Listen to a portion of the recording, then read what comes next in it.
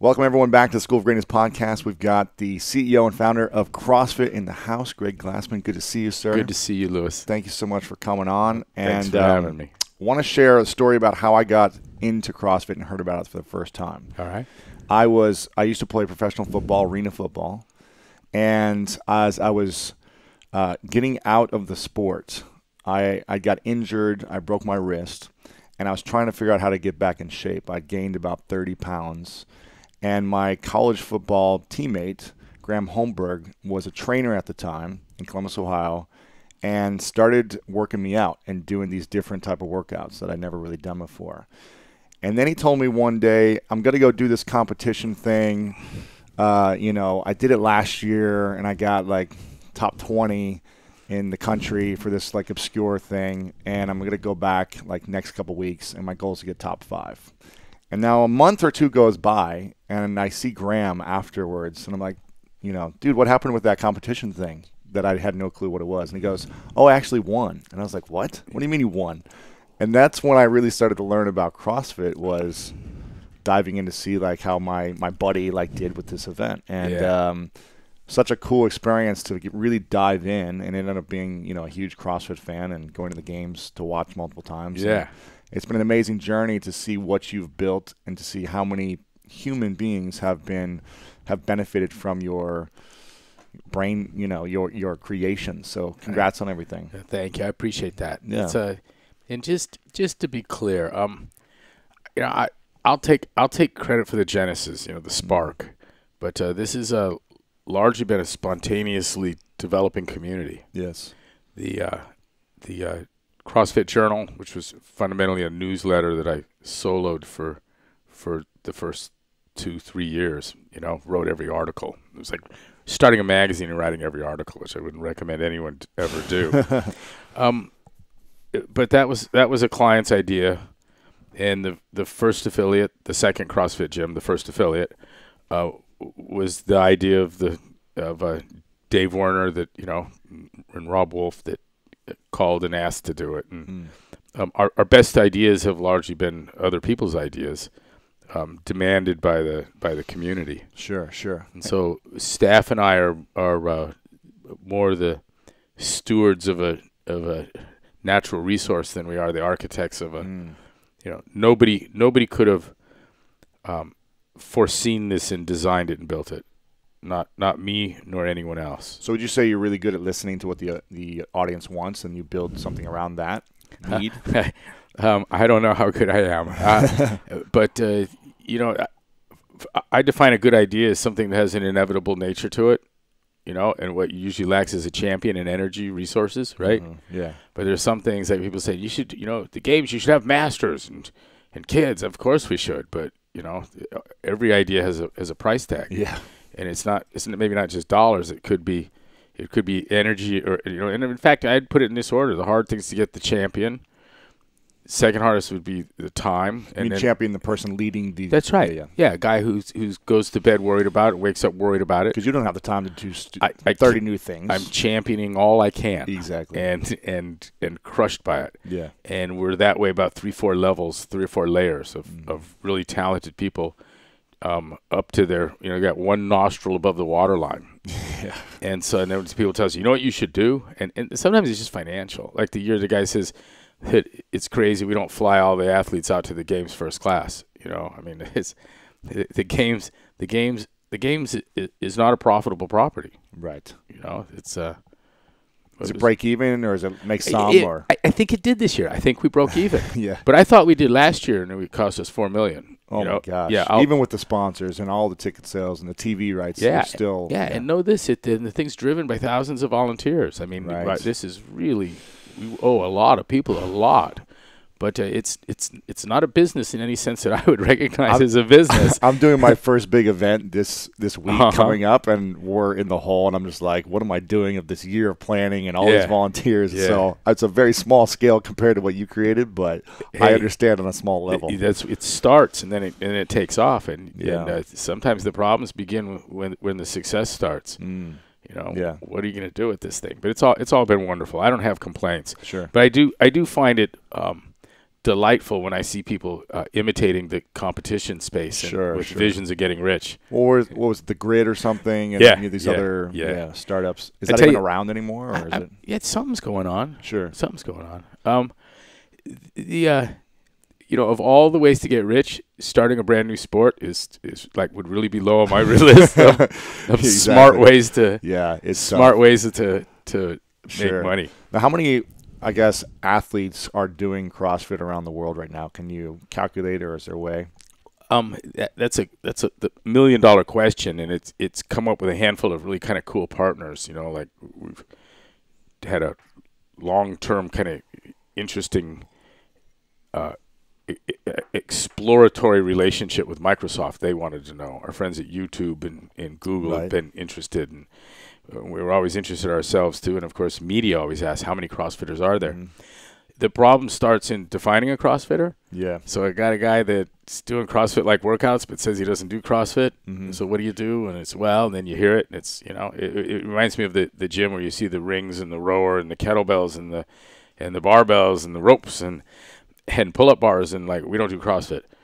I was like, oh, really? What do you? What do you do? you know, what do you? Show me what you do with this stuff. I'd like Yeah. to see it because if it didn't look like what we did, you'd have to like do maybe the same thing every day, or you'd have a schedule. Mondays we do this, Tuesdays Uh-huh. that, or maybe the pace is so slow that there's not a It's cardiorespiratory. not timed, or yeah. Yeah. but I if it, they just don't want to call it CrossFit, so it's not. they don't want to pay the fee. That's fine. Yeah, sure. they don't pay the And and I'm I'm totally cool with that. You know, I never thought this was protectable. You know, No. um, it's it's like a blueberry muffin recipe, not a piece of software. yeah, you can't. unfortunately. You can't you can't patent doing uh, Can't kettlebell protect it. swings, Nope. right? nope. And and maybe that's but that's, you can protect the brand we can protect the brand. We can protect the brand. Yeah. and the namings of workouts. I'm assuming, or something like that, Yep. right? Or, Yep. Yep. That's cool. That's very Yeah. cool. Well, I guess how many registered So- members of gyms, maybe, or well, you know, you the, know that, or- but the, we talk about those in the wild. That's the Yeah. CrossFitters that aren't in the boxes. right? And what is that number? But let me just answer your question Sure. and tell you that, that, it- we also do not know. I don't. I would. I don't believe if if some if, if God had the answer were willing to give it to me, I would be willing to sit here and bet a large amount of money that it's not less than two million. Hmm. I would also bet with this same, uh, you know, omniscient entity, the deity that's going to tell us how many there are, that it isn't over four. And what's interesting, I mentioned our partners, um, by by uh, they've come to the same numbers, but by some methods just full of flaws. Hmm. But I so I don't know. Maybe my method's not right. Here's what we did. I took a stab at the at the financial ecosystem, and you know I have a pretty good sense of how big we are, how big Rogue is, and you know all the players. And so you make make a list of of thirty businesses that are at the heart of this this movement. You know Mhm. the movers and shakers, and uh, make an estimate of their size, and then and then you have to figure out how many people are spending that much money. Yeah. And at two million, they're spending a boatload of money, Wow. and at four million, um, significantly less. Sure. And so it gets to the point where I just don't think that people are spending that much money to create this much this much business. Mhm. Um, so less than two.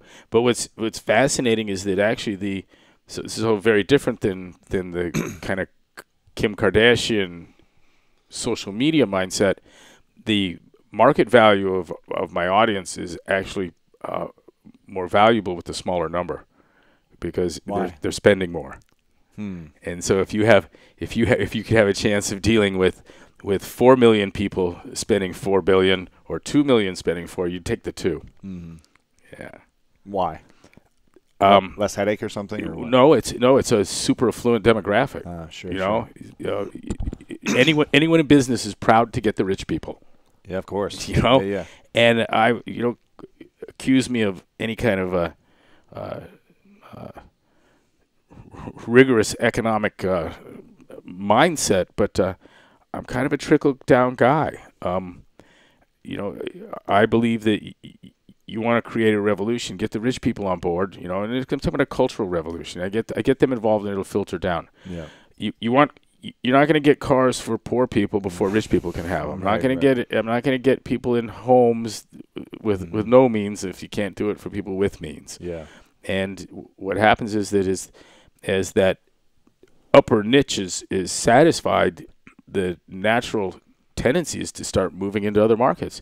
This is why I mean we just sat with with Google talking about their help and helping us reach a, a billion Indians Wow. you know and uh, that that's and and what's cool is that it's going to cost me a lot of money to do that and a lot of effort but we're doing it because it's the right thing to do Mm-hmm. and i i don't have a sense that that that there's a market there for us you know i'll give you another example that's where we're going today the congressional uh, 44th congressional district here in california um, this includes um, compton and watts Yeah. you know, it's a it's a hard hit area. There's a lot of underserved people, a lot of black people, a lot of brown people.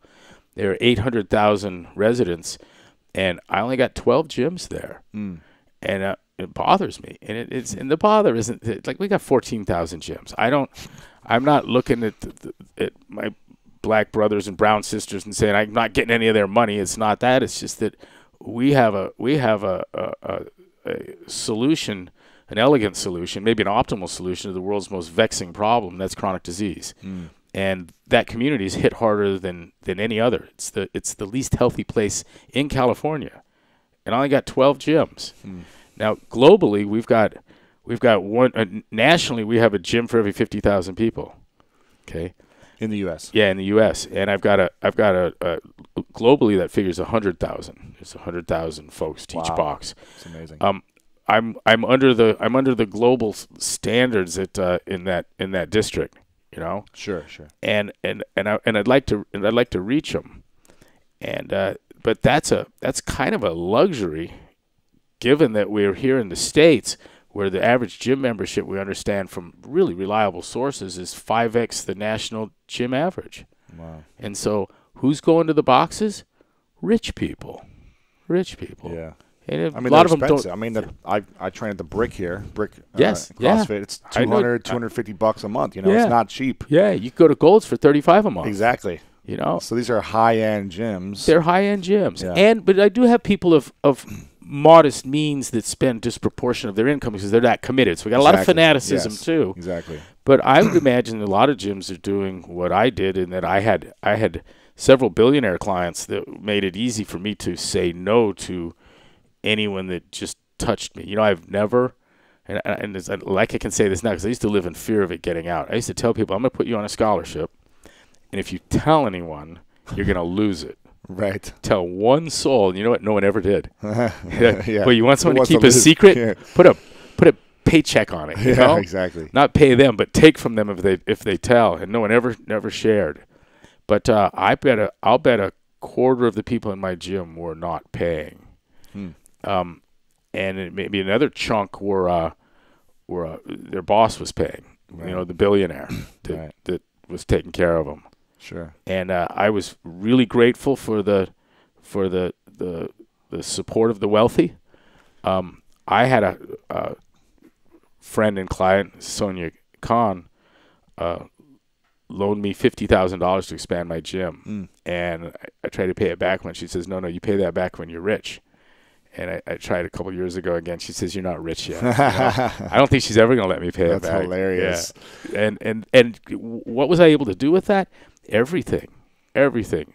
Work with kids and athletes and people in the community that you know, people that I would identify out in the street had a profound need. Come into my box. You know, Yeah. they don't have two dimes they can rub together. That's Sure. okay. I got you. You know Yeah. and uh, I've got that same attitude on the global level now. So I'm interested in India. I'm interested in in in, in Brazil, and Mhm. you know. Yeah, I was just down there in Rio for the Olympics. Mm-hmm.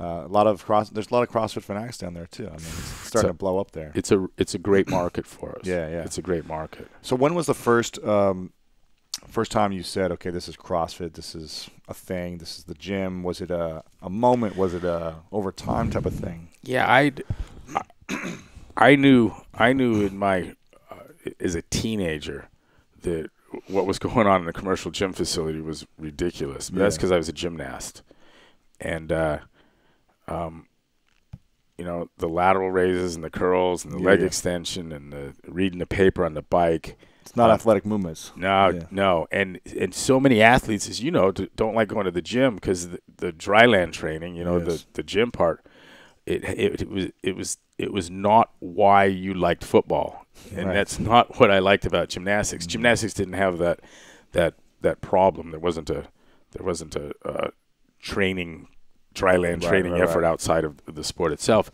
but um, people don't appreciate, I think, in the public that the uh, gymnastics routine is a is a uh, max heart rate event.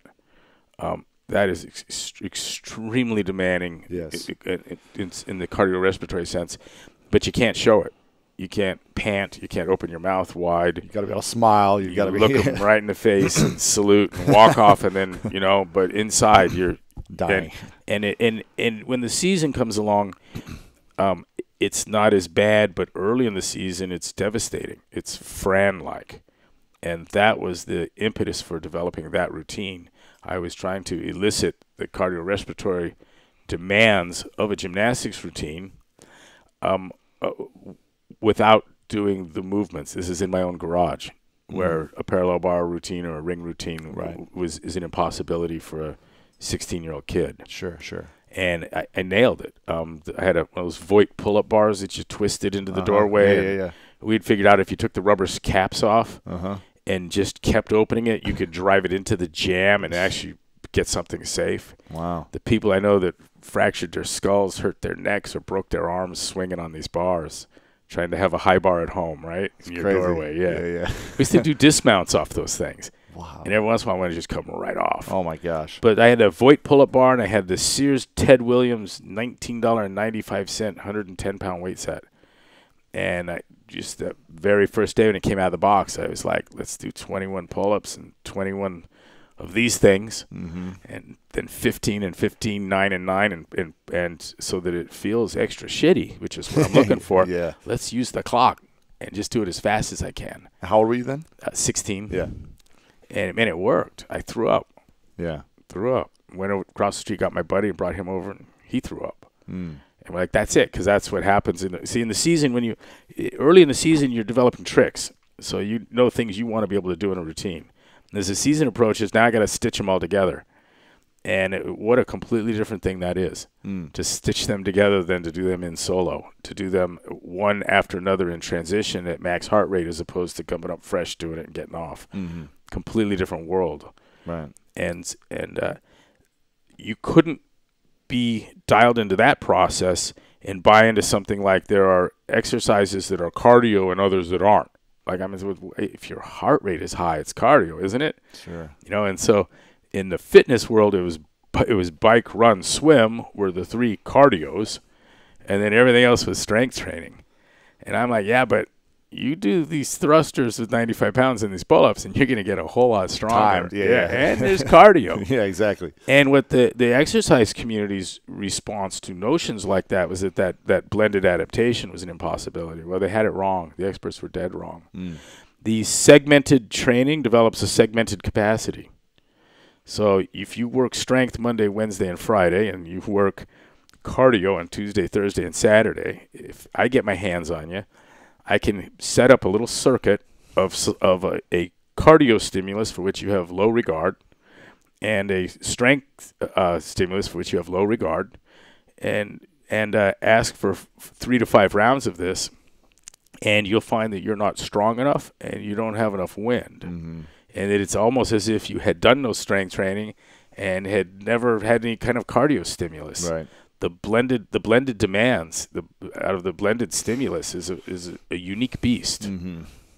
Do you think that's why? I mean, you've created a, people call it a cult or you know a tribe or whatever you want to call it. Do you think that these movements or the type of workouts that people are going through is what's created that, or do you think it's more of the culture, or is it the more of the people? Is it more of the brand? I, I don't I don't think we can separate them, but I will say the the brand uh, symbolizes the net effect and was and was you know the charm and allure of the brand didn't draw people in. Um, Didn't draw people in. no, and, and I don't think it, it does still really. Right, right. What draws people in is the is the young lady or the young man or the that grandma or grandpa that's gotten results and Mm. won't shut up about CrossFit. Right. and that's the that's where the marketing happens. And those people drag people in. They bring Yeah. them by the arm. They bring them by the ear. You know, they beg them. Um, they're relentless in their pursuit of the next customer. Mm. and uh, that's that's there's a lot of magic there. It's almost like a gym doesn't have to do any marketing. Just get ten people in there, and it'll build on its own. You know, there's a there's a we've we've regularly had to define some terms. It, it, it often happens when, it, when a term that everyone uses, you have to ask, do we all mean something different when we say it? And some things like that, fitness. Everyone's got a different mindset, and we all use it. Um, yeah. uh, marketing was one of those things, but for me, marketing is any effort that is designed to improve the bottom line, mm-hmm. effective or not, but that's the hope. It's going to improve the bottom line, and it isn't a direct uh, tinkering of the product or service. So you're not improving the product or service. You found another way to get people in the door. Um, I, I'm I'm not really impressed with that, but mm. there is a level at which it happens, and it's essential, and it is that testimony of the end user. Yes, that person is marketing. They're not improving the product or service, but they're sure the hell out there. Now, at advertising, it'd be that way. Um, putting uh, uh, hot pink flyers under the windshield wipers at the cars at the malls, mm-hmm. Groupon, all those things are, are marketing efforts. A lot of advertising is, is of that kind of thing.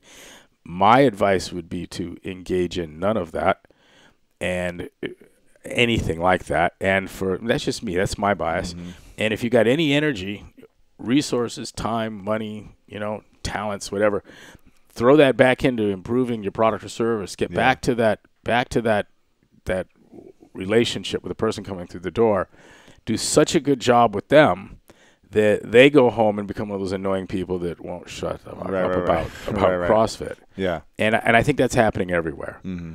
Um, we've seen a few gyms uh, lose it all to Groupon. Just you know, they get a whole bunch of people that that uh, that uh, chase out the the people paying full price. Yeah they don't stick around and you're not making any money. But it's actually been the death of a of a couple of boxes. Sure, sure. never never do anything like that. Sure. And so I, I, I never had to do any of that. But you know, where was I? I was 100% in the presence with the client. You know, whether it was one, five, or ten of them, mm-hmm. they were everything to me, and nothing else mattered. And they took care of me. I didn't have to ever ask anyone to come into the gym. Right. Ever. Right. They would spread the word. They were bringing yeah. people. If you were going to give them your full attention and energy during that hour session, they were going to go tell people afterwards. Of course. I just had the best workout of my life. You yeah. should come in, look yeah. at the transformation. I feel amazing. And uh, Lewis, so I talk to orthodontists and lawyers and accountants, and same with them. Yeah. Same thing. They're exactly. not, no one no one advertised. You know, and there's always that Jacoby and Meyers kind of sure, sure. thing, you know, that's a little off the beat. You know, the dentist with billboards on every corner, and I think we all, a lot of us, uh, would be wise to be suspicious of that. Mm-hmm. sure, know, sure. I'm not. I, Absolutely. I, have a I have a problem with a lawyer's got a, a commercial on every channel yeah, three exactly. times a day. Yeah. You know, I don't think that's the lawyer I'd, I'd be looking for necessarily. Right, right, right yeah. But uh, the consummate professional has great uh, relationships with the Mm-hmm. with the people they serve, and they provide. They're the source of the new people. Exactly. Great testimonials as well. Uh, yeah. If someone was looking to build a movement, whether it be in the fitness world or any world, any industry, what would you say are the key ingredients that they would need based on what you've done? Um, I guess to replicate it, you know, a CrossFit in their industry. Some of the answer might come in the in the, the, the what I see business as today. You know, my definition of business, and we got some pretty good traction with this at Harvard Business School in Mm. two appearances. And Yeah. got- it, it, was really appealing to the students, and, and so that really appealed to me too. Because Right. I because I think if I'm not sure um, if the definition is anything other than my own bias, and then to find that kids at the Harvard MBA program really liked it, it's like okay, maybe it is more than just you know my take on things. But I believe that business is is the art and science of creating uniquely attractive opportunities for other people, and anyone that can iteratively, sustainably over you know five years or more create an opportunity of any sort, whether it's a product or service that is uniquely attractive, and what the evidence of that is that they buy it, they avail it. Sounds like, Right. but if you can if you can provide a uniquely attractive opportunity um, for other people, uh, you're going to have a successful organization or a successful business. And for me, a business is a, is a, is an organization, um, and importantly so. Um, money is to a business like uh, uh, jet fuel is to an airline.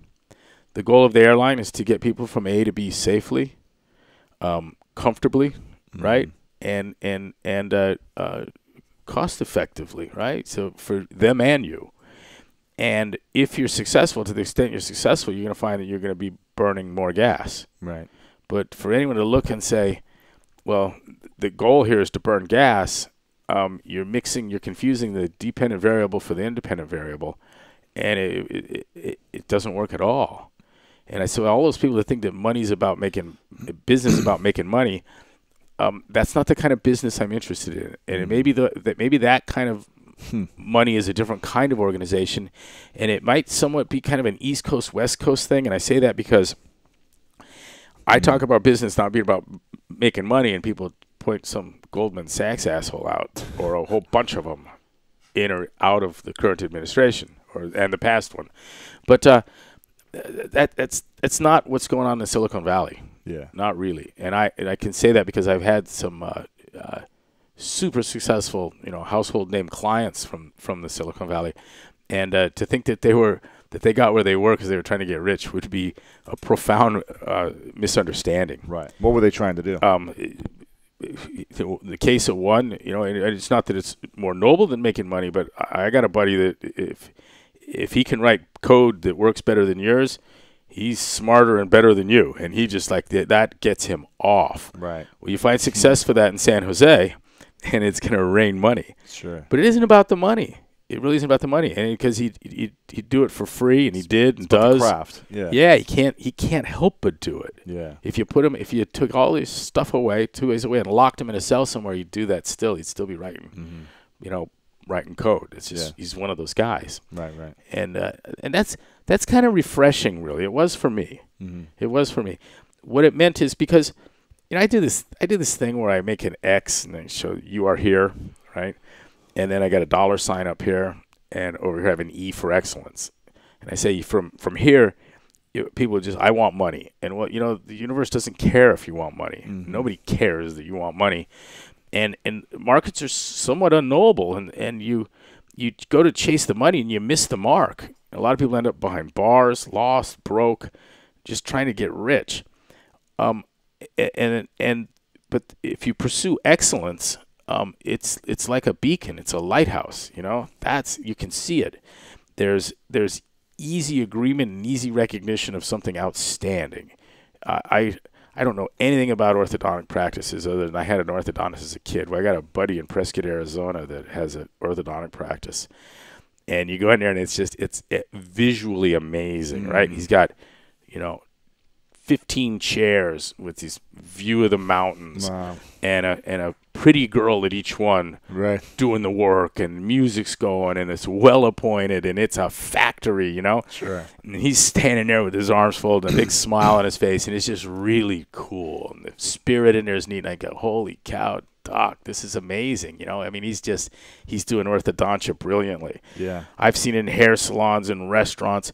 And the same thing, you go to a place and you know there's it's dirty, and you can just you can just Right. you'll know right away. Feel the energy. Yeah. Yeah, and, and so the excellence excellence shines bright and it's obvious to everyone. It's such an it's so it's so non-elusive, and you can every day work towards that E, towards that excellence, and you know that you're that you're you're uh, in you're making steps, progress towards it. You can metric it. You feel Yeah. it. You know when it's you're making it better. And what do you do tomorrow? I'm going to make it better. And how about the next day? I'm going to make it even better. And you keep looking for things to make it better.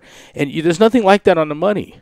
So here's what happens: those that will stay committed and and and really want the E, not the cash, they get there. Now here's what markets do: the markets move the money to the excellence, and Mm. almost always by a path that you wouldn't have figured out.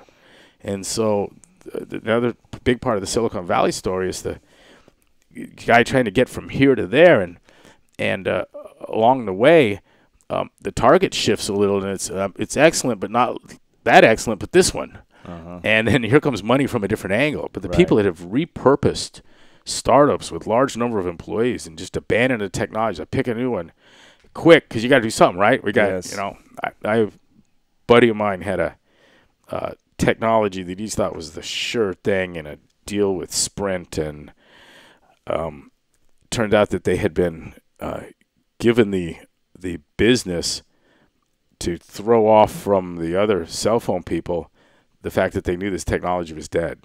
Hmm. And they just made the investment to. And anyways, uh, so my buddy was kind of a pawn in a Mhm. in a in a game of misleading AT and T and Right, Verizon. Right. And so he had to come up with something because what they wanted to do can't be done, and they Sure, thought sure. it could, and the people that hired him to do it knew it couldn't be done too. Um, and so they had to come up with something brand new overnight, and did, and just to save everyone's jobs in the business, Wow. and but it's cool. Wow. Do you feel like you've made any uh, big mistakes that you wish you could take back over the years in either building the brand or how things have run with the business or So, I it's got some smart ass answers. I've been so disappointed by the behavior out of the weightlifting community sometimes that I wish I hadn't uh, salvaged their dying sport. But that's I'm being I'm I'm being flippant there. sure. Um, now, Is there any regrets you've had in building the brand or the way you've run the games or boxes or anything?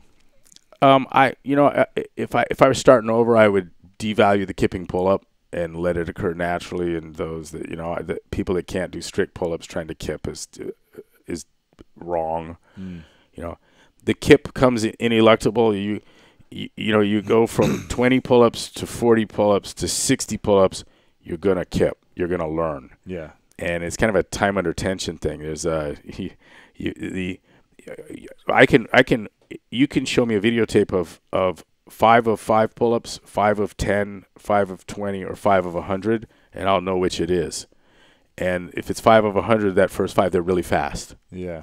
right Sure, sure. and if it's yeah. five Yeah. for five, that's slow. Mhm. And the kip comes naturally as a whole body movement out of that whole thing.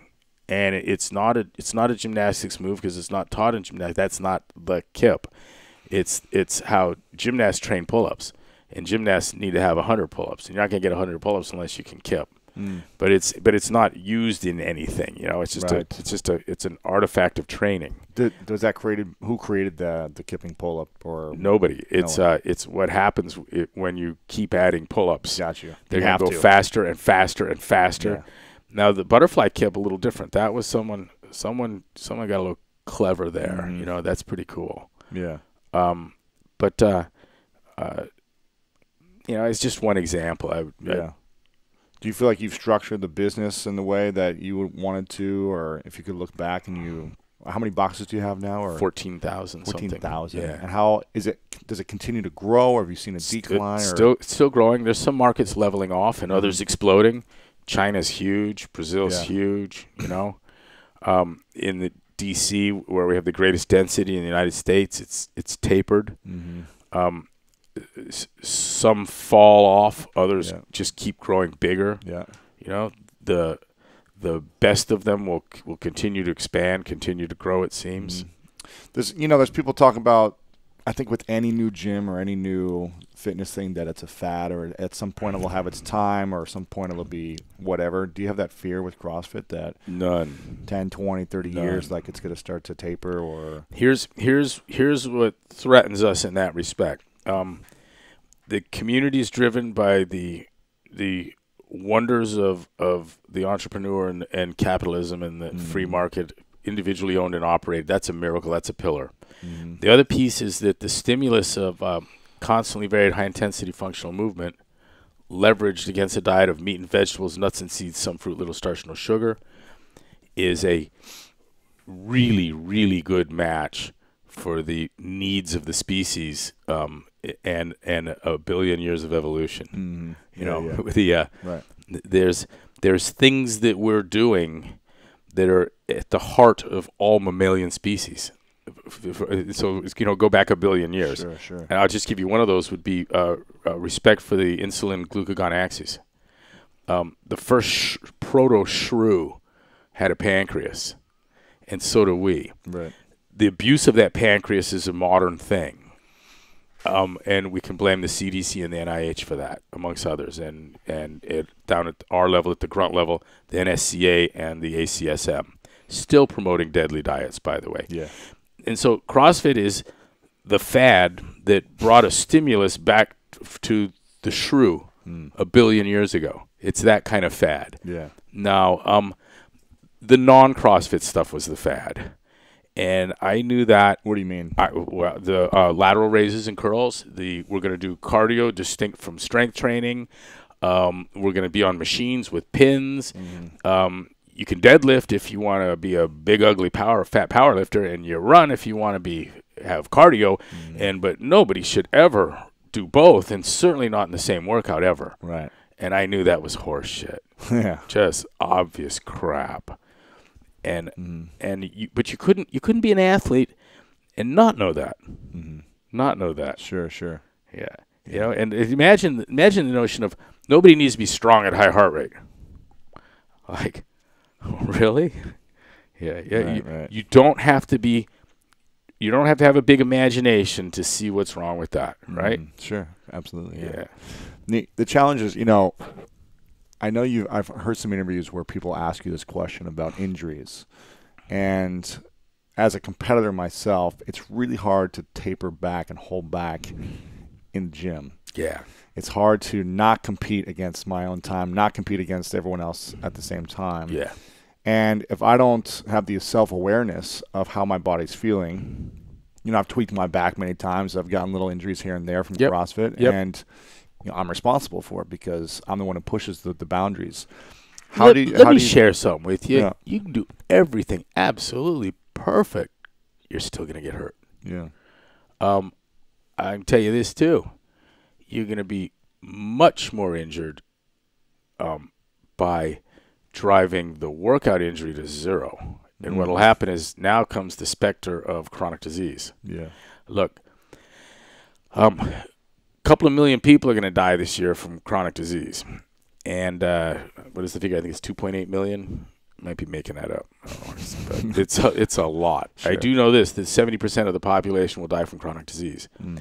It has the the the two-headed hydra of, of, a, of a of a of a cause in sedentarism, holding still, and Mhm. malnutrition yeah, the crappy diet. And the worst of that would be the eating way too much of everything, but in every case, it involves too much carbohydrate, specifically high glycemic carbohydrate, specifically sugar. And that lifestyle is the deadliest thing on the planet. It takes 70% of lives, and we're exporting it now so that this number is, is holding true even in places that are ravaged by infectious disease. They're rapidly approaching a 70% rate on chronic disease. And so, and so, you know, the number of people that die from chronic disease is twice the number that die from all other causes combined. Mm. And that's what happens when you watch TV and eat the way the Center for Disease Control wants you to eat. right. And so, and so, as soon as you get off the couch, it's dangerous. Yeah, And hmm. it is because you know what? I'm going to tell you that sitting there watching TV um, is there's a much less chance of acute injury, like say picket, ACL tear, right. uh, break a wrist. I don't care any any of these sprains and strains, you know, bruises, bumps, even you know things that might require surgical repair.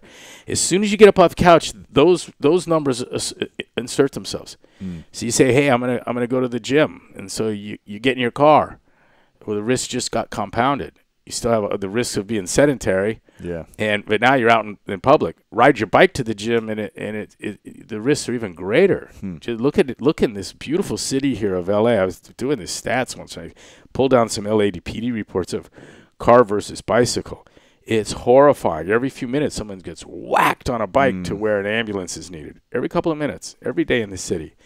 And so that's some really dangerous shit, right? right. And then once, you, but once you get into the gym, I've still all those risks go up. But what has, what is in free fall now is the risk of chronic disease, and so we trade we trade the sprains and strains to avoid the heart attacks, the strokes, the cancers, Right. the diabetes, and to and so someone says, you know, I got a buddy that got hurt doing CrossFit. You know, isn't it dangerous? Like, you know, It's dangerous sitting on your couch all day. yeah, two million buddies died not doing CrossFit right, right. and and chronic disease is it, fundamentally is a lack of CrossFit in your life. hmm You know, so- you don't like Functional the, You don't like movement, the, yeah. right, right, yeah. right. You- Moving. functional, Functional movement, movement, yes. functional movement. You need to be you need to be able to pick things up off the ground, get your ass out of the chair. You know, those are Those aren't exercises. Nobody invented the deadlift. Nobody invented the clean. Nobody invented the pull up. Whoever says, "Hey, check this out," can you believe this looks like? Check that out. I made that up. You know? No, you didn't, dude. We've been everyone's been standing up for a long time. You're full of shit. But but but but someone says they invented the the you know somewhere someone invented the lateral race because there's someone that was holding something doing this. The guy says, "What the hell are you doing?" He goes, "It's an exercise." It wasn't. It was. It wasn't. It wasn't. You know, the, the functional movements. It's obvious what you're doing The value. Yes. You know, the the uh, hyenas are chasing you. Jump in a tree. You don't. You Yes. didn't. You didn't invent the pull you, up. You pull up and yeah, right. Course, you're getting yeah. away. You Yeah, know, and throwing a rock. You know, that's not. No one invented that. It's Mhm. been it's been there since time immemorial. It's built in, baked into who and what we are. Yeah. And it, it- the the first exercise physiologist, I can't remember his name when you look him up when I'm talking. But he's a guy, a Brit that that observed that the uh, uh, ticket takers on the double decker buses Mm-hmm. um, had a fraction of the heart attack rate that the drivers did, Hmm. and they were making the same pay, and you'd get get the job, and they just assign you to one or the other. But one of them was dying in, in large numbers, and the other wasn't. And uh, um, in his 99th year, this this genius observed that this is the first time in history where people have to deliberately exercise to find health. That you know, and so the, the subject is the fad. Um, yeah, CrossFit's CrossFit's a, a, a fad, Right. um, just in the way that your your the human genome is a fad, Mm. um, and it's and it's as, it's as, it's as stable as that genome is, which is pretty damn stable. And so people would say to me, "You still like the zone diet?" and I was like, "Yeah, I do." And they go, "Wow, it's been a long time." And I go, yeah, well, you know, balance of the insulin glucagon axes, adequate essential fatty acid intake. I mean, these things, these things go back a ways. Yeah. Would the zone diet have worked on people in pre-Columbian time? Of course it would. Mm. You know, Sure. of course it would. Sure. These Sears and Glassman and a bunch of others, we've designed for our for our perception of the physiological need. That was the goal. It Mhm. wasn't to make money. it wasn't to sell a book. It wasn't to, uh, uh, you know, we were we, we were addressing a a, a, a, a riddle, you know, a Yeah. scientific question Mhm. and something like that is very very much not likely to be a fad. Now, may people not uh, CrossFit in the future? Well, sure, but I don't. That wouldn't make it a fad to me either. You Yeah, know, sure, There- sure. A lot of a lot of good things have been lost. Yeah, sure. Yeah. Um, I'm doing a I'm doing some research about masculinity for a new book that I'm writing. Now, That's interesting. it's, it's the book's called The Mask of Masculinity. I've been interviewing former professional athletes to female psychologists to men, women, everyone. And um, I'm curious to hear your opinion about how CrossFit has either shaped or reinvented or evolved masculinity, or what type of energy you see in a gym around both men and women coming together, doing these type of primal workouts to the max every day. Does that evolve someone's, uh, I guess, masculinity? Does it make them more loving and vulnerable? Does it make them harder? Does it make them able to connect with individuals because there's community? What's your thoughts? I'm grinning here because my focus has been the women. Um, because there's something, uh, you know, if you if you kind of rephrase the whole thing around around the ladies and is you Sure. know what's going on there, I, Yeah. I, and I and I will come to that because now I get Yeah, you I'd love to hear. Kind of went there. On the guy thing, I haven't thought about so much. I haven't seen it, but I but I I can offer a few things. Um, I think this is the maybe the vainest population to ever walk the earth, and and I and I but I don't yes. I don't see it as a bad thing. Everyone's shirtless. Everyone's Yeah, taking yeah. photos. but you know yeah, what? Th- They look so fucking good. They maybe ought to. I mean, it's like I, I get it. They look know? good naked, you know? yeah, yeah. Um, so it's maybe it's not a false vanity. You know, Uh-huh. they they look really great and they know it and they're proud of it. And so, "Ah, that's all cool. but there's but there's an enormous amount of testosterone Yeah. and no fights. Hmm. Never had a fight at a CrossFit event. It's a lot of brotherly love. It's sense. Crazy because I, I you would think you can't you can't even do that. You can't do that in the Marine Corps. Mm, You know, you can't do it in a football team. right. You know, it's it's we the CrossFitters don't fight. They don't. There's none of that going on. Um, we've never had a secure. Uh, uh, you know, we've had we've had people show up that weren't supposed to be at an event, kind of security event. But there's no one. There's no one that Break had too much to drink. And yeah. um, police manage large venue events by getting hourly reports on the gate and the alcohol consumption. I don't know if you know that or not, but when you, if you have a stadium, there's a there's a guy running the thing who will every hour. Um, it was our Andy Rios that won it. He's get he knows how many beers have been poured. Yes. you know, and Sure, sure. when more beers come in, and they they have the right to cut it off, and they've got some magic numbers where um, Right. you you work beyond so many people and so many beers and so much time, and that's when the violence starts. And so they trim back the beer and and uh, CrossFit. We run we run a, a pretty drunken event because there's uh, none of those rules apply. Right. And so the beer just flows all day long, and we don't have people throwing up on each other or fist fighting or stealing stuff. Um, every year at the games, someone loses something, and I always tell uh, the I've told the security people I want to know when someone's misplaced a, a wall or a person. If it's if there's any way for me to come by them, I want to go because I want to be there and look them in the eyes. I want to tell them you're going to get your wallet and purse back. Right. Someone's going to be honest. Yeah. And, and and what's typically done at StubHub Center is if you want, you can start checking the trash cans, and you, hopefully they'll have taken the cash and throwing your picture of your kids and that kind of stuff in the garbage. yeah, yeah. You know, there's no need to do that here. Someone is gonna is gonna turn it in, and it's gonna get back to you, and it'll be but but sometime at the end of the day, maybe into the evening, but Sure. you're gonna get it. And I was telling a reporter that along with our uh, our agent uh, from uh, William Morris, uh, Gabby Morgerman, um, I was telling her the story, and it wasn't a half hour later that where's my purse, and uh, and an hour later, um, her assistant calls her and says some guy has found your bag. He went through everything in it, and he found my phone number on an envelope Oh my and called. And he's waiting for you, and this guy's standing there with her purse. She'd left it outside, you know, and like, of course, that's what happens. I, and I think I can tell you the why of it too. And I don't even know how this has to do with masculinity, but it, but it, it, it, it, it it's it's related to testosterone in men and and the things men do, and when they get them in large numbers, and we don't do those things. why? Why? Um, uh, CrossFit's really, really hard, and a lot of shitty behaviors come out of people looking for shortcuts for the easy way.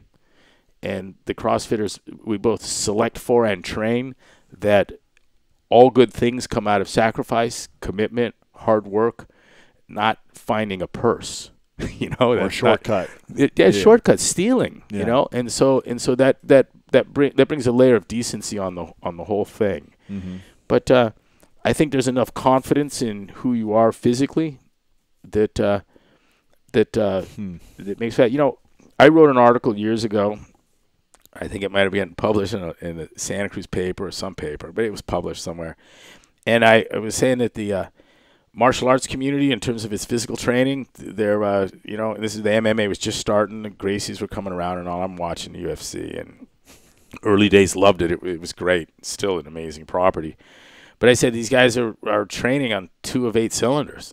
That it's just the, the, the their their fitness is woefully lacking. And you triathletes, just in case you think that you know that just as bad, if not worse. And I got a I got a crazy response from it. I got um, hate, death threats, death threats from the triathlon community death threats, phone numbers, threatening to kill, rape, murder my wife, disguised voices, emails, the craziest stuff.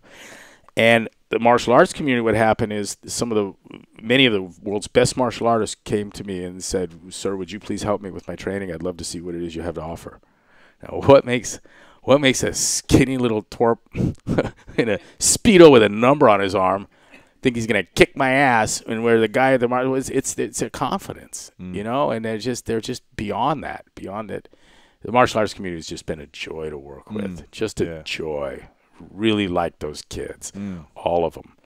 Less ego, less ego in a let you less ego in a UFC competitor than a tennis player. You know, and I In don't. general. Yeah, for a fair. couple, yeah. Throw them all into the rug. Yeah, yeah. Hey, you know, in the UFC, you, you don't get a paycheck unless you talk a load of shit. Yeah. and they get trained. Then you get a big. ta- then you get a big paycheck. Yep, Yeah. and you can get a check bigger than your talents if your mouth's big enough. So I like, and so they got to do that. I was close to BJ when they made him talk a lot of crap, and he's not a crap talker. Yeah. He's got he's got none of that. It's like a reality show. none of that. Yeah, in him. yeah. yeah. And so that there was a lot of that. uh, you know that's the uh, P.T. Barnum kind of Mm-hmm. angle that the fight world has going with it. Uh, I mean, how does uh, having women and men then both in the gym with with women? How has this been effective with masculinity with women? Yeah. Um. th- The uh. Because you were grinning before about saying Yeah. something. Um. The old style of PT, where you know there were movements we did, the snatch, uh, muscle up. There were there were the powers that be in the fitness industry rejected those things, and and even in the military community initially, that these were too complicated that you'd get hurt. There was a basically was unknown, but but ultimately, without them even knowing it, what they were bristling at is that there was a neurological component. It required coordination, it required accuracy, it required agility, and it required balance. And that's not macho stuff. It's the stuff of gymnastics. But it is well within the province of of a lot of what women do and the way they, they are. And that stuff came very naturally to them for a couple of reasons. Um, one is they don't have the contractile potential. They're just not as strong, and so they have to be effective. Um, the other thing is that a, a gal has no problem going, I don't know how to do that. Would you show me? And a guy comes in and goes, I know how to do that. I do it all the time when he's never done it at all. You know, I used to watch at Golds. I'd watch a guy try a 400 pound deadlift and miss, and then come up and say, "Yeah, I got 450 today." And like, oh, dude, we were all watching. You failed at four. You know, we were right here watching. Um, so the guys will lie about what they do, and a, and a, a chick would stand there and you know curling and go, I, I can't do this. It's too heavy. And like, so the women are, their egos are such that they didn't have full appreciation of their capacity. And the guys had this ego that actually had, I think some of those guys that came up and said they did 450 when it was four, didn't know they were lying. Hmm. And so our sense of self is so inflated compared to theirs that it makes them easier to train and it makes it easier for them to learn some of this stuff. You know, you can see a guy seething, being taught something he doesn't know how to do. Some of them Why is that? macho idiots, you know, just uh, masculinity. I don't know. Yeah. you know, ego.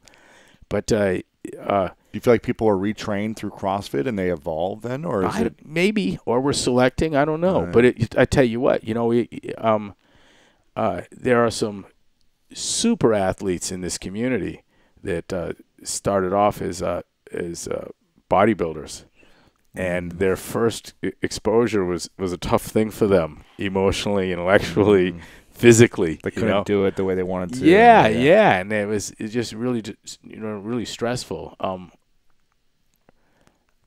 I, did, was, was- I don't want to I don't want to get his name wrong. He's a good dude. I feel bad, but there was a there was a great example of that. There was someone that uh, Mm. I might come back to it. But Sure. so so the modern PT prior to CrossFit had removed all of that coordination, accuracy, agility, and balance. So there's no cleaning, there's no snatching, there's no handstands. We're not hand walking. What are we doing? Well, it's it's uh, you know uh, jumping jack, sit up, run. You know, lather, rinse, repeat kind of thing. Um, it was it was dumbed down. Yeah. What I call dumbed down PT, where you remove the neurological elements. That radically exaggerates the difference in physical capacities between men and women. And dumbed down PT. Um, one advantage we have physically over women is pretty significant is contractile potential. You know, just how with what force can the muscle shorten? Guys are a lot better than that at girls Yeah. um, when you add a neurological component to it and you make it in, in so the CrossFit definition of strength is not just contractile potential, but it's productive application of force. And if the goal becomes to get above the rings, is your productive application of force, or to uh, stay balanced under an overhead squat is your productive application of force, um, the differences the differences shrink significantly. And so we stacked the deck against the ladies when we when we went to the to the uh, Monday, Wednesday, Friday cardio, Tuesday, Thursday, Saturday, uh, doing lateral raises and curls and leg extensions. And you bring it into the CrossFit space, and all of a sudden, what we have is the 110 pound gal mentoring the kid that played football and just can't seem to get the overhead squat right. right, And right. we used to make show of that with Nicole versus the the big guy in Yeah. the certs. I don't know if you've Sure. seen any of that Sure. Yeah. and it was a, a 95 pound load and 50 overhead squats. And what I'd do is look for the buffest, biggest dude in the gym who's whose overhead was kind of like this. So he's 15 degrees forward, and you put your hands where they are, put them overhead, and then, and then here's how he gets them overhead: leans back Right, until the arms are straight, but I still don't have an open shoulder. And so, will that beast, and I don't care if he's got a 500 pound bench press, what's going to happen at, at 95 pound overhead squat and 50 reps? Nicole will get to 50. He he will not. You just can't. Yeah. You can't. If that's where overhead is, you, you you're sunk. Same for holding a handstand. And uh, um, so there, it's all been really empowering. Add to that, and so I'm on the subject of ladies now. Yes. You add to that our meat and vegetables, nuts and seeds, some fruit, little starch, no sugar, and a lot of the uh, uh, insanity around body image just disappears. It's gone, long gone. We don't have any eating disorder people. We got a lot of young ladies that have come from that that problem, but it's long gone now. And so, you know, does does jeans make my butt look fat? I mean, our girls know their butt looks good, and, and and your opinion doesn't matter, and they're not afraid to out eat you at the table and brag about Right, it, right. and and their confidence. It's so beautiful, and in the end, what has happened is that we now have uh, there are enough of of them of us. Um, there, a, a new aesthetic has emerged. It's a it's a new look, and it's new create look. and it's created a new aesthetic, and it's a strong as a new beautiful, right? Yeah, it's a functional esthetic Mm-hmm. It's a functional aesthetic, and it frees women of the tyranny of an arbitrary aesthetic. And when it's arbitrary, look at what we've seen: um, uh, uh, stretched necks, elongated necks in Africa, uh, binding feet in Asia, um, heroin anorexia chic in in the West, and all of these things are debilitating, devastating Yeah. unhealthy and supposed to be pretty. What they also ha- what they also do is reduce a woman's ability to to uh, to uh, resist you, and I find the whole thing disgusting. Disgusting. I think it. I think it's. I think it's a. It's a cultural adoption of a of a rape culture. And you know who why why do we have to impair our women for them to be beautiful? Sure. it bothers the hell out of me. And so i'm really really proud of the crossfit girls because they said they um they're strong. And in every sense of the word every yeah, sense there's it's just strength. It's it's wonderfully empowering. I think they lack vulnerability. no. No Do you think the men that train in CrossFit consistently lack vulnerability or emotional? Um, I, maybe i don't know Hmm. maybe i don't know but i don't I think they've trained themselves so much that they're unable to, you know, express themselves. Uh, Really, does that emotions. happen? I, I've noticed there's a, a bit of a dry personality around the top games competitors. Mm. That I want to get into. Sure. I, I've, I've, I've been seated at the table before hmm with a table full of champions. And, It's dry, huh? you know, man, you're hearing the clinking of forks. Really? Yeah. what do, What do you think? Uh, what do you think would happen if it was just? Have you noticed that? You know what I'm talking about? I think it's just they're just very serious. They're so focused, you know, and it's um, you know, they their whole life is. This. I don't know. The NFL's full of focus guys, and they're going Yeah. out at night committing felonies and having a blast. You know, true. I don't. I don't know. Yeah, I mean, maybe there's more. Um, you're more part of a team in football, so you're Yeah. able to like joke and play and Yeah. like play games on each other's. But it's more of like obviously you, you train together and you have some partner stuff, but it's Yeah. more lone wolf type of energy. I would just tell you, you know, you get put on the athlete bus on Sure, the way sure. somewhere, and you know, you, silence, crickets. you might want to get on one of the other buses. exactly. the you- volunteers are way more fun. I'm sure. Yeah. Yeah. Well, no stress on them. Well, I, I some, get, I get that. They're focused. You know. I mean, did, when you when you guys traveled in football, were you having a blast? we were having a blast. It was almost too crazy. Yeah, okay. That's my especially- sense of it, Especially at arena football, it's like Bull Durham. It's Yeah. like dude. A bus a bus full of gymnasts is is is like a it's like it's the it's the monkey bus, No, you know, same thing with and they're players. coming It's out the windows and trying to get on top, and you don't even want to know the stories that happened with football players after the games in the bus. It was it was nuts. It was like almost like get me out of here. You know, yeah, a little crazy. yeah, good. That's what I was hoping it would be like. What um, what do you think it would be like if it was just all men training and, and all women training? Do you think there'd be a dim- different dynamic or different energy? Um, I uh, in these boxes, if it was Yeah, just my- like men only or, or women only. I- the only exposure I have to a male only environment was uh, as a youngster, I had a brief stint at the Hughes Aircraft Company because my father and mother and grandparents and uncles and aunts and everyone that knew worked had worked there, and so I'd get a, do a little job there, and uh, it was it was almost all male, and it was horrible. I mean, I couldn't stand Mm, it. I yeah. don't, but Yeah. I would I wouldn't I wouldn't want that. Um, the women the women have been uh, role models in our gyms. Yeah. Role models. Someone I was asked what you know. I love getting coached by a woman Yeah, at the gym. I feel like It's they're fun. yeah. Hey, let me let me share this with you. Alignment, you know. I've had a dozen bosses in my life. I've always I've always um, really enjoyed the the women that I worked for. They were um, fantastic bosses. And check this out: the better I did, and the better I made them look, the more they liked me, hmm. and the and the and the more success we all enjoyed.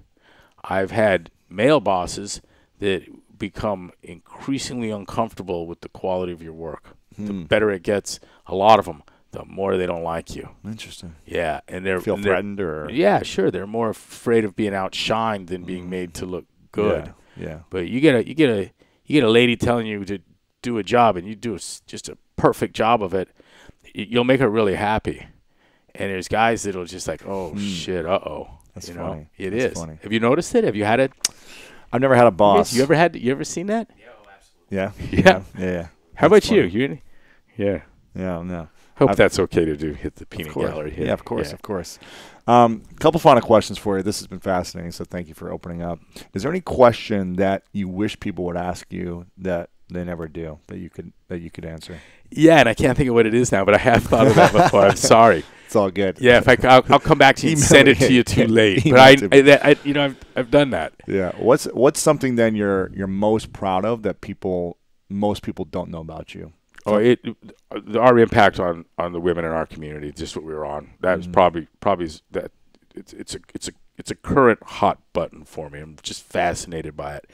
I'm amazed too at how how much it's gone unnoticed. You know, I tried to communicate this to the people at Vogue, and then it ended up with that spread they did on Annie Thorisdottir, and I think they were more tripping on her than fully appreciating that this was liberation from a, a devastating, uh, deadly culture that they were kind of at the heart of. Mm-hmm. You know, it might have been the might have been the wrong the wrong audience, the wrong the wrong magazine to make that point. Sure.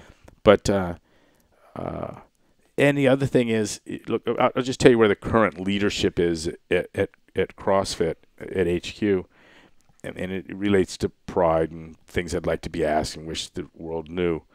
Um, we have an elegant, marked by simplicity and efficacy. We have an elegant solution to the world's greatest problem, and that's chronic disease. And our team, the HQ team, has has has uh, recommitted. We're doubling down to change the world's perception of what happens in the box. And I explained to staff, by the world, I mean all those people that are never going to go to a gym and die from chronic disease. I would like them to know that there is that we have something in our boxes. The people that are currently going to the gym, I'd like them to know. The people that are going to the box, going to the CrossFit already, CrossFitters, they need to know. You're not just getting fit. Um, you're you're you're saving your life, and I need the people that train them to know it, and the affiliates themselves to know it, and those of us at HQ. So literally everyone in the world, I would like them to be increasingly aware of of what it is that's happening in the box, and it's health. That's what's happening in the box. It's way more significant than the fitness. Yes. The fitness is a Trojan horse Mm-hmm. delivering wellness, delivering wellness, and and uh, you know sometimes you, you wish people knew, and there's a little regret. No, it's our job now to get that message out. Yeah. So I get to come places like this and share that with you because I think it's really really important. Sure. You know, you it it, it, it, it it's not good to save a life and not know you're doing it. Mm-hmm. You know, Yeah. you got to know. Yeah. And you know, we'll never see the heart attacks that don't happen. We won't see the Alzheimer's that doesn't develop. We're you, only you only see it when people get sick. But but look, I got I got I got let's let's go with the four million figure. Well, seventy percent of the population is going to die from chronic disease, and so if our population were like any others, what that means is that we'd have an exposure of four of about two point eight million people that were going to die from from uh, that growing list of cancers that we that we believe come from metabolic syndrome. Um, those things we know do the diabetes, the stroke, the heart disease, the Alzheimer's. Um, uh, they've gotten a pass on it. The the metrics that would suggest that those things are in your future, um, HDL, triglyceride, glycated hemoglobin, um, uh, uh, blood pressure, Mm-hmm. the elements of body comp. For every CrossFitter, whether you're coming one day a week or or five, um, those things are moving in the right direction, which means that you are sneaking out the door from chronic disease. Mm-hmm. Sure. And that may easily be 2.8 million saved lives Right. in the current community. You know, they're still going to die, but not, but not prematurely and needlessly. Mm-hmm. And and that awareness is, uh, you know, that's something we need, it's something we need to share. Yeah, and cool. it and it's and it's that it's those 2.8 million lives that you have to you have to weigh the ACL tears and the sprains and the strains. But Mm-hmm. I'll tell you, you know, it's a little weird to be sitting in the orthopedic surgeon's office with your badass studly injury you got from your sport, and to see some fat dude who got the same thing getting out of his pickup truck. Right. You know, like yeah, yeah. fell out of bed in the morning, and you're Yeah. you're gonna be in the same hospital room. You exactly, know, like exactly. um, everybody gets hurt Yeah, yeah. everybody gets hurt. That being said, um, we are dramatically safer than that uh, jumping jack, push up, uh, sit up, run, lather, rinse, repeat PT that was going on in, i everywhere, especially in, in like military and law enforcement training, you know, in schools. And we know this because we are the in-house fitness program for, uh, you know, um, maybe a hundred uh, uh, military and law enforcement training programs. Yeah. We've been at Colorado State Patrol for now like 15 years, 16 years, Wow. and we know the injury rates. And let me tell you what I tell them about their injury rates. I look at it and I go, you, you need to get more people hurt. Hmm. You do. Um, it's too low. Too safe. low. Yeah, make them fitter. Yeah. When I strive to to bring the injury down to zero, um, I, I'm pulling the plug on the on the on the efficacy Yeah. and you need some tolerance, you know. Uh, I, yeah, I've asked the gym, you were a gymnast? Yes. Oh, did you ever get hurt? Never. I'm like, okay, you know, I know what kind of gymnast you were. Right, right. Yeah, you know, your mom took you five times, kind of gymnast. Mhm. You can't be, you can't stay in that sport without injury. It's true of football too. Yeah. There's no uninjured. Many, many injured seasons. Yeah. Yeah, Play through it too. they play injured. yeah. I used to see the all the greats from the Raiders at, over at, at at Golds, and I remember, I remember seeing Todd Christensen with a bruise from ribs to knee on like you know, and it would be like it would just be this horrible thing that would expand and then Mm. contract in the space of a week, and getting ready for the next week. It's crazy. Yeah, it was just amazing. Hmm. What is something that you're most grateful for recently in your life? All my babies, you know, I got I got seven kids and. Seven kids. Yeah, Wow. and they're just amazing. And I, that's the easy answer now because I'm oh, I'm uh, two weeks away from them right now. You know, and I'm and I'm gonna go see them tonight or tomorrow, depending on my Wow. energy levels for the drive our planes down. So I'm I'm driving it, and uh, I just the, the little ones are, are amazing. Mm. You get such insights into into the world and humanity, and Yes. seeing how an empty little head fills. And you know, I Crazy. yeah, I love that. My little one said, uh, "Of course they're dangerous. That's why they call them murder cycles." it's like, I mean, that's just rich, right? Right. Very cool. Yeah. Um, this is a question I ask all my guests at the end. It's called the three truths question. So if this was the uh, the last day for you many many years from now, and you achieved everything you wanted to achieve, and you got to write down on a piece of paper three things you know to be true about all of your experience in life that you would pass on three lessons to your friends, your family, the world. What would those three? And Lewis will be? give me 20 seconds to think of them. Exactly. Off the spot. As Off the, the plane's going down. exactly. Here's a pencil and paper. Uh, just kind of first first thing that comes to you. It doesn't have to be perfect. Yeah. yeah, I, you know, check the ego, be honest, and, and uh, yeah, I can, I can, I can give it to you. This, this isn't going to be, this is going to be succinct, but but it is is an important lesson, and it applies to I think everything we do. Um, I I routinely come across someone who's extended themselves for someone's, and it backfired. Um, it was either you know someone took advantage or wouldn't take advantage, but you, Yeah. my God, look what I did for you, and then look what you did for it, and I'm all bent out of shape, you know, and uh, I've come to see that the, the the spirit of the charity has to be has to be that it, it's up to them, and and you can't in, invest of yourself so much that you're disappointed in the give if it doesn't come out right, Mm-hmm. and it's not a truly charitable thing if it's if it's not just that honest that uh, I- don't know what you're going to do with this, and I, and I got my hopes, but I- but I don't want to I don't want to be uh, let's say disappointed if it doesn't work out because I don't want that to discourage me from you know you don't ever want the lesson to your chair to be that I'm never going to do that again for anybody Right, right, of course. you know and so you have to you have to get you have to be willing to get burned and and repeatedly Mm. to find that special person and it's probably true in love employees and i'm not wrecking your cord Very good. um, i- i- it's uh i think that's really important i think it's really important because i see i see that a lot in people they're uh, in the training floor it was uh, i had to be very careful maybe it was my problem but i had to be careful that things got weird when i wanted more for people than they wanted for themselves Mm.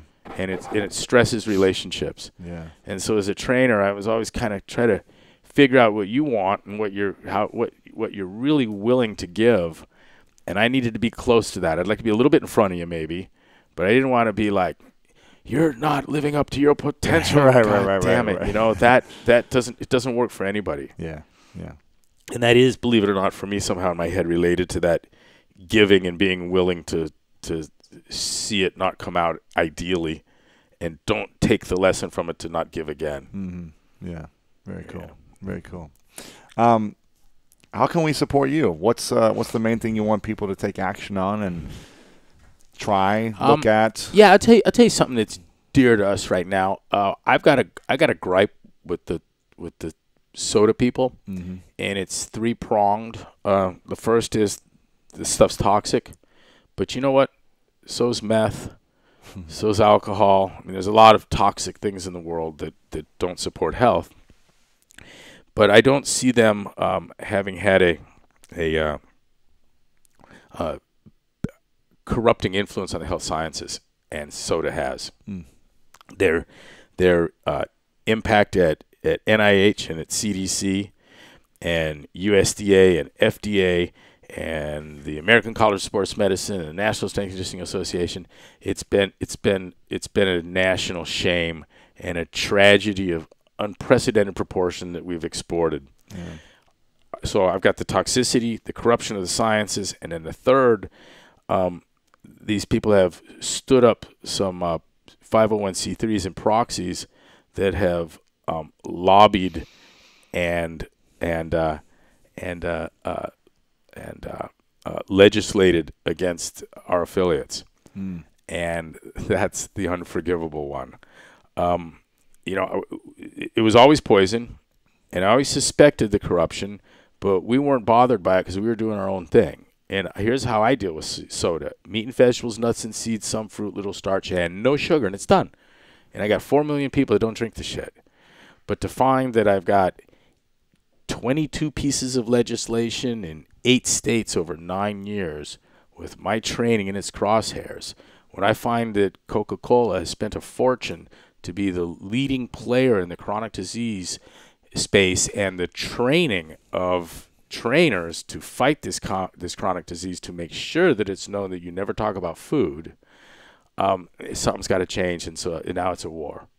Now it's a war. So it's those it's those three things: the toxicity, the corruption of the health sciences, and then trying to stop us from just doing our own thing. I mean, we weren't bothering anybody. Right. You know, uh, the, the my my affront to Soda Pop was the was the new gym that opens every two hours and 24 minutes somewhere around the world is going to have two or three hundred members that won't drink their shit eventually. That's all we were doing. Um, I didn't try to make what they do illegal, and and they did, and they're denying it too. But uh, we went to uh, the Podesta Group, and uh, one of the it's like my favorite lobbying firm on earth. We went to them and retain them to help us find out just where this stuff had come from, one of these licensure bills actually passed in D.C. and we, we were getting it repealed, Mm. which is a which is a, a miracle. I mean, it was a page two Wall Street Journal story that uh, CrossFit was the this is only the eighth time in 40 years that a piece of occupational licensure had been repealed, and two of the times that's happened, it got put back. But uh, um, uh, we we hired them to help us figure out where this came from Yeah. and the language was big chunks of the language identical. And so there's a, there's a fingerprint on this. Mm-hmm.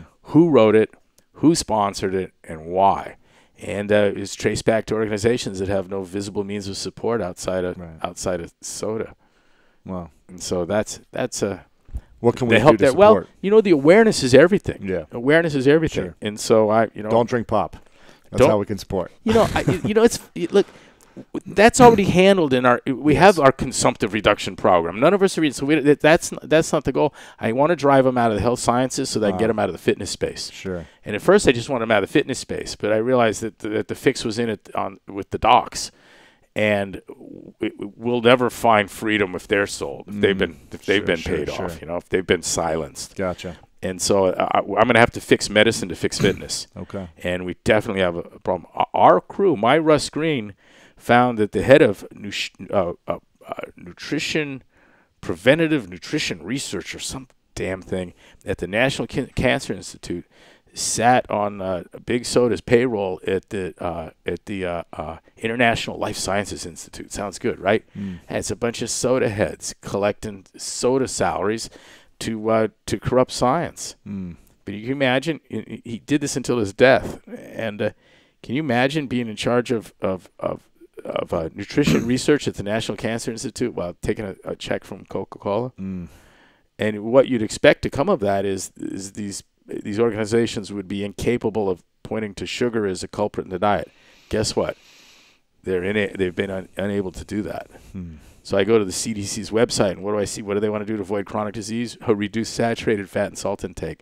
Let me share something with you. You know, the 2.8 million people are going to die. That wouldn't have saved a one of them. Mm. Not a one of them. Yeah. Yeah. You want to have a profound impact on someone's life? Take their sugar away. Absolutely. Thank you for this. Yeah. You're welcome. You've been a, You're you've been a you've been a great interviewer. Yeah, I've got I've got one final question for you. Yes, sir. And before I uh, I ask, I want to take a moment to acknowledge you for your incredible drive and for being a catalyst for saving so many people's lives and transforming health in so many people. It's unbelievable to see what you've built and what the community has built with you Thank you. and how people have rallied behind this idea of eating better and moving functionally. And um, you've been leading the charge, so I want to acknowledge I- Greg for I warmly appreciate that, but I Yeah. just, but I have to let you know I'm I'm, I'm a little uncomfortable. Just in part humility and, and part just honesty. Um, I got I got a lot of people that put a lot of energy into into what I'm doing, have done, um, and going back to to my first partner, um, Lauren Glassman, to all the people that support me today, and including a whole coterie of folks that worked for free for years yeah. before there was a job. Worked for free for years before there was a job, Mhm. and uh, y y once that happens, it's it's hard to it's hard to me or I anything. It's we. Sure, sure, sure. You know, we did this. Right. Well, I appreciate you being the catalyst. Uh, to thank you. inspire people to I tell people. I, I threw a lit cigarette out the window and it started a forest fire. You know, There you go. I, just, I'm I'm not I'm not There the you go. god of the sun. Sure, sure. Um, final question for you. Yes, sir. What's your definition of greatness?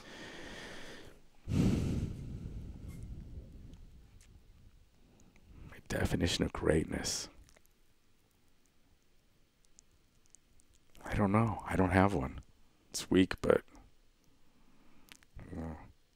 Nothing coming to mind. you know, you know what's interesting? Like greatness is one of those things. It's like it's like endpoint. You know, and, and I'm a process guy, and I and I. I'm- I'm, I'm not so much about achievement as I'm about process, and you Mm. stay committed to process, and that's where achievement comes from. But we, we, uh, there are things that we, we set out to do, and and I don't have a sense of whether it's going to take 18 months or 50 years, and I don't care either because it's we're going to do the right thing Yeah. for the right people for the right reason. It's always it's always paid off sooner than I would have thought, but I was I never started with that in mind. yeah. It's kind of like, and I use the example of a fight too. Um, I, I've been in I've been in a lot of fights of all sorts. But I've never, I've never, I've never picked one because I was sure I'd win it. It was like it was just it's time to do this, you know. Mm, sure, sure, So this this this person or concept needs their ass beaten, sure, sure. and uh, it may not work, but it's it's Right, it, right. it's needed. And I'm i I'm gonna give it a whirl, you know. Hold my beer, watch this. Sure. I don't have I don't have It's a all good. definition of It's greatness. good. Great. Thank you very much. Thank Appreciate you it. very much. Thank you. Thanks so much for watching this video. I really appreciate it. And if you enjoyed this video, then make sure to subscribe to my YouTube channel. You can do that by clicking right here to subscribe because each week we come out with awesome, epic, and inspiring interviews and messages and videos just for you. So click subscribe right here to get notified of new videos every week. Also, if you enjoyed this specific interview, we've got a lot of great interviews like this that are uplifting and inspiring. So click right here to watch the previous interviews because the people I've had on are pretty cool and epic as well. So click here to watch previous interviews. Click here to subscribe. I love you guys, and I'll see you very soon.